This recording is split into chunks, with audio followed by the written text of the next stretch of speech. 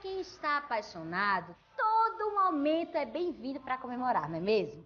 Porque ontem foi comemorado o Dia dos Namorados pelo mundo todo, que é conhecido como Valentine's Day.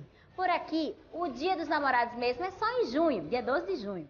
Mas o casal Bárbara Borges e o Irã Malfitano, olha eles aqui, os ex-peões da Fazenda 14 e a Bárbara, que foi a campeã de fato da Fazenda 14 também, trocaram declarações de amor nas redes sociais em comemoração ao Dia dos Namorados Gringo. Olha só, o amor, o amor tá no ar, literalmente está no ar.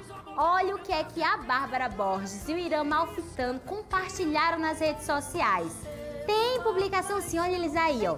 A Bárbara comentou o seguinte: Amo viver a vida ao lado do meu amor, namorado, amigo, parceiro e ramo alfitano. Você me conquista todos os dias. Você é a minha escolha todos os dias. Menina, ela reiterou ainda que são todos os dias. E ele diz como conversamos sério, falamos zoeira, como nos divertimos juntos, como nos fazemos bem.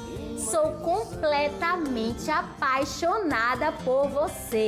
Quero celebrar tudo com você, então hoje celebro nosso primeiro Valentine's Day. Dia dos namorados, gringo, né? Esses dois estão de fato muito apaixonados mesmo, né, minha gente?